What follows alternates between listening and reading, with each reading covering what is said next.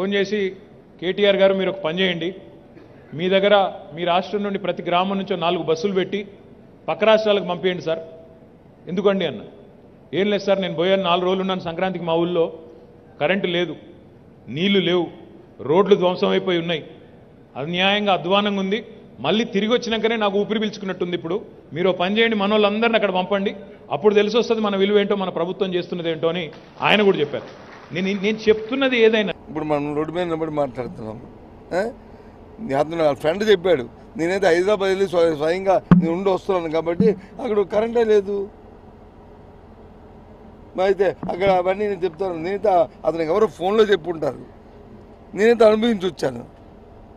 Generator వేసుకొని మేము ఉండి వచ్చాము. మరి దానికి ఏం సమాధానం చెప్తాము అది తప్పు కదా అలా అంటే బాధ్యత గల వ్యక్తులు మా అలాంటి మాటలు మాట్లాడకూడదు. వారి తాలూకు ఘనత చెప్పుకోవచ్చు కానీ ఎటుబాటు తెలియదు రమ్మనండి. ఆయన తీసుకుని చూపెడతాము. నిజంగా ఆయన చెప్పుంటే. అది ఐ షుడ్ నాట్ దాన్ని తీవ్రంగా నేను ఆక్షేపిస్తున్నాను. యా- ఆ భాషను ద- దయచేసి విత్డ్రా చేసుకోవాలి. సార్ ఏ ఉద్దేశంతో అలా అనింటారని నాకేం తెలుసు? అది వెళ్ళి ఆయన అడగండి విషయం అడుగుతుండేది కేటీఆర్ గారు కేసీఆర్ గారు ఈ రాష్ట్రానికి ఏం చేసిందో బొత్స సత్యనారాయణ గారి ఇంట్లో రెండు రోజులు కరెంట్ లేదంటే ఆ కరెంట్ ఎందుకు లేదో మీరు తెలుసుకోండి మరి. కరెంట్ బిల్ కట్టకపోతే కరెంట్ డిపార్ట్మెంట్లు కట్ చేసినారు కావచ్చు కానీ లేకపోతే కరెంట్ రెండు రోజులు ఉండకపోయే క్వశ్చన్ ఎక్కడైనా ఉంటుందా? ఎవరికైనా మీకు ఇక్కడ ఇంతమంది మిత్రులు ఉన్న ఎవరింట్లో కరెంట్ రెండు రోజులు లేకుండా పోయింది ఎక్కడైనా అస్సలు ఇంపాసిబుల్ అది. ఒక అరగంట గంట పోతేనే మనం తట్టుకోలేకపోతున్నాం. అన్ని రోజుల కొద్ది అసలు కరెంట్ లేని రోజుల నుండి ఇవాళ ఒక అరగంట కరెంట్ లేకపోతే ఉండగలుగుతామా? ఒక్కరింట్లో ఇన్వర్టర్ ఉందా? ఒక్క ఇంట్లో జనరేటర్ ఆన్ అవుతుందా? హర్షించండి. అప్పుడు ఏమేమి బాగాలేవు ఇప్పుడు అవన్నీ ఏమేమి బాగున్నాయి వాళ్ళకి తెలుసు మనకు తెలుసు.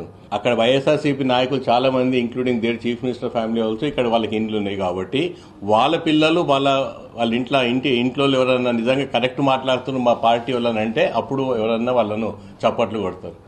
ఏం మాట్లాడుతున్నారు? అవసరమా? క్రెడైలో చెప్పడం ఏంటంటే ప్రాపర్టీస్లో మా డిస్కషన్లో ఇట్లుంది అని చెప్పాను అక్కడికి వెళ్ళిన ఎవరన్నా వాళ్ళు ఫోన్ చేసి కేటీఆర్ గారు ఫోన్ చేసిన వాళ్ళు వాళ్ళకి ఫోన్ చేయమని చెప్పండి. బి వైఎస్ఆర్సీపీ నాయకులు ఫోన్ చేసి మీకు ఏం ప్రాబ్లం అవుతుందో విజయవాడ అభివృద్ధి ఏందో చేసుకుంటారు. హైదరాబాద్ అభివృద్ధి ఉంది ఏముందో వాళ్ళే చూస్తారు కదా. వైఎస్ఆర్సీపీ ఎంపీలు నాకు చాలా మంది చెప్పింది మేము మీ కేసీఆర్ ఫ్యాన్లమని దమ్ముంటే మాట్లాడమని చెప్పండి. కంపే వాళ్ళు కంపేర్ చేసుకుంటారు. మేము కంపేర్ చేస్తలేం. మేము ఎప్పుడు ఏపీతో కంపేర్ చేసుకోము. మేము మేము చెప్పేది నిన్న కూడా చెప్పింది ఏంటి? తెలంగాణ ఇక్కడ దాకా ప్రోగ్రెస్ అయింది భారతదేశం ఇంకా ముందుకు తీసుకోవాలన్న టాపిక్ మేము మాట్లాడుతున్నాం. ఇంకా ఏపీతోటో ఒరిస్సా వేరే రాష్ట్రాలతో పోల్చుకోవాల్సిన అవసరమే లేదు మా హైయెస్ట్ సగటున పర్ క్యాపిటల్ ఇన్కమ్ తెలంగాణ ఉందంటే అది ఒకటి చాలు ఇక ఇంకా వేరే నిదర్శనం. అవునమ్మా అదే అంటున్నా. ప్రజలే వేస్తారు కదా. ఏపీతో పోల్చుకుంటారా లేకపోతే బీహార్తో పోల్చుకుంటారా యూపీతో పోల్చుకుంటారా ప్రజలకు తెలియదా? అంత విజ్ఞత లేదా ప్రజలకు? మేము ఏం లేనిది చెప్తే వాళ్ళు మమ్మల్ని ఆయన స్నేహితులు సంక్రాంతికి జలసా చేసుకుంటాకి ఇక్కడికి వస్తే ఉండలేకపోయాము రోడ్లు బాగాలేదు కరెంట్లు లేవు అని అన్నారని చెప్పి అన్నారు ఒకవేళ అది మీరు చెప్పేది అంటే నా తమ్ముళ్ళు విలేకరులు అందరూ నిజం చెప్తారు అబద్ధం చెప్పరని నేను అను నమ్మి మాట్లాడుతున్నాను.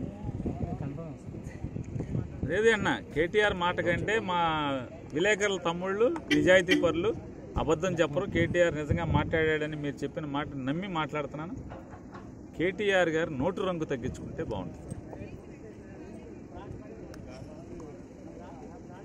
కరోనా టైంలో హైదరాబాద్ నుంచి ఎన్ని వేల మంది ప్రాణాలు అరచేత పెట్టుకుని ఇక్కడ వైద్యం చేయించుకుంటాకి లేదా ప్రాణాలని నిలుపుకుంటాకి తెలంగాణ నుంచి ఆంధ్రప్రదేశ్ పరిగెత్తుకొచ్చినటువంటి సంఘటనలు ఆ రోజులు కేటీఆర్ గారు ఒక్కసారి నెమరు వేసుకుంటే ఇద్దరికి కేటీఆర్ గారికి ఆంధ్రాకి బాగుంటుంది.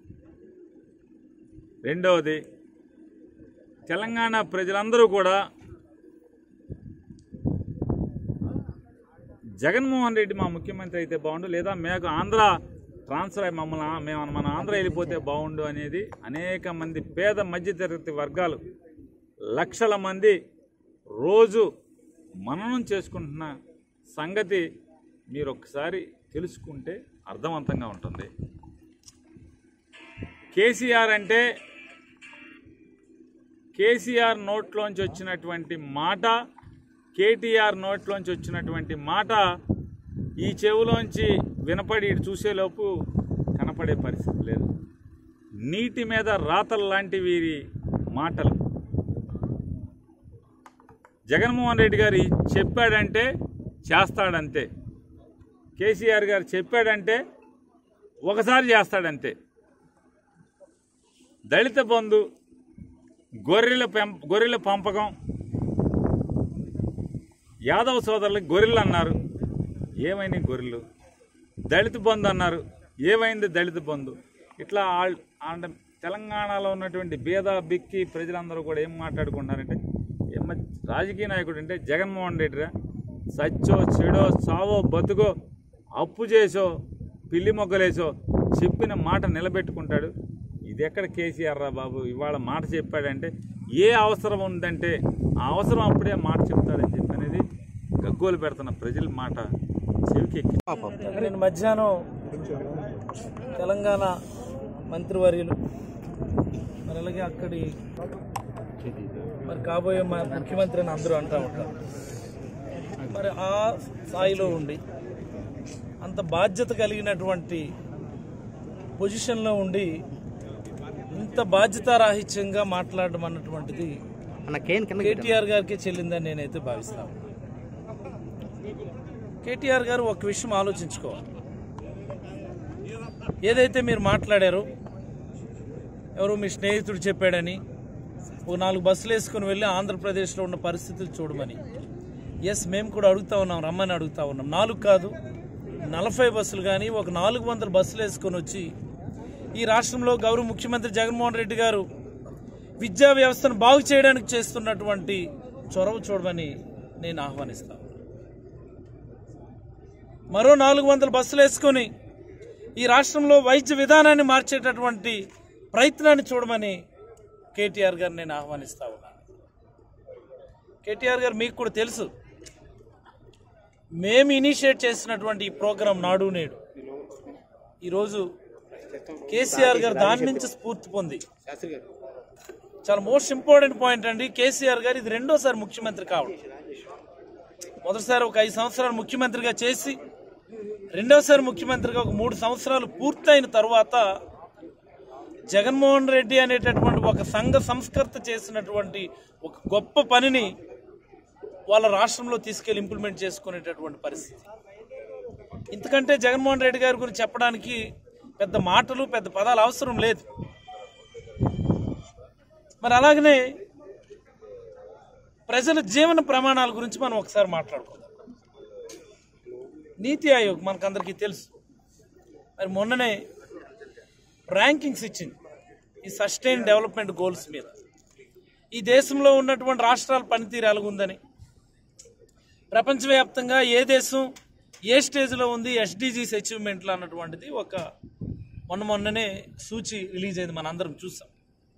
మరి ఎస్డిజీస్కి సంబంధించినటువంటి పట్టికలో ఆంధ్రప్రదేశ్ స్థానం ఎంత? మూడవ స్థానంలో ఉన్నాం మనం. తెలంగాణ ఎక్కడుంది? అంటే కేటీఆర్ గారు మీరు హైదరాబాద్ని చూసి మాట్లాడుకోరు. తెలంగాణ అంటే హైదరాబాద్ ఒక్కటే కాదండి. హైదరాబాద్ మీద మీకేమి గుత్తాధిపత్యం కూడా లేదు. హైదరాబాద్ అభివృద్ధిలో మీ పాత్ర ఏమి లేదు.